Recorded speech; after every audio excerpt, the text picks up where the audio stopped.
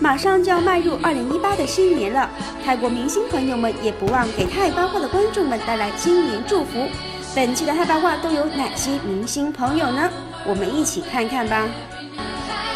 เปลี่ยนถึงเวลาเปลี่ยนแปลงนะครับซาร่าก็จะเปลี่ยนเหมือนกันนะฮะ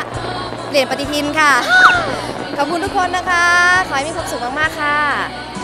ำห รับปีใหม่นี้นะคะ ก็ขอให้มีแต่สิ่งดีๆเข้ามาในชีวิตนะคะ แล้วก็ใครจะเริ่มต้นอะไรใหม่ๆนะคะ ก็ขอให้มีแต่ความสุขนะคะ ขอให้มีแต่คนรักนะคะ สุขภาพแข็งแรง แล้วก็มีแต่สิ่งที่ happy happy ตลอดไปแฮปปี้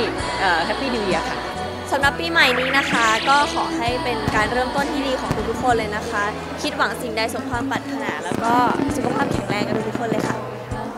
ค่ะก็ Happy New Year นะคะ ขอให้ ปีใหม่นี้ทุกคนเอ่อเจอแต่สิ่งดีๆนะคะ ขอให้ไม่ต้องป่วย ไม่ต้องเจออุปสรรคใดๆทั้งสิ้นเลยค่ะค่ะสวัสดีปีใหม่นะคะยังไงก็ขอให้ปีใหม่นี้เป็นปีใหม่ที่ดีของทุกๆคนนะคะร่ำรวยเงินทองประสบความสำเร็จทุกอย่างอะไรไม่ดีก็ขอให้ผ่านพ้นไปกับปีเก่านะคะ เริ่มต้นอะไรดีๆ ปีใหม่นี้ค่ะ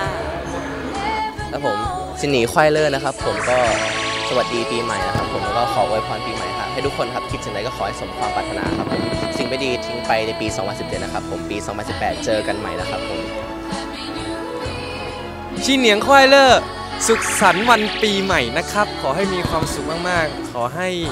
เดินทางปลอดภัยจะไปไหนก็มีความสุขเยอะๆนะครับผมอย่าลืมทำบุญเยอะๆนะบ๊ายบาย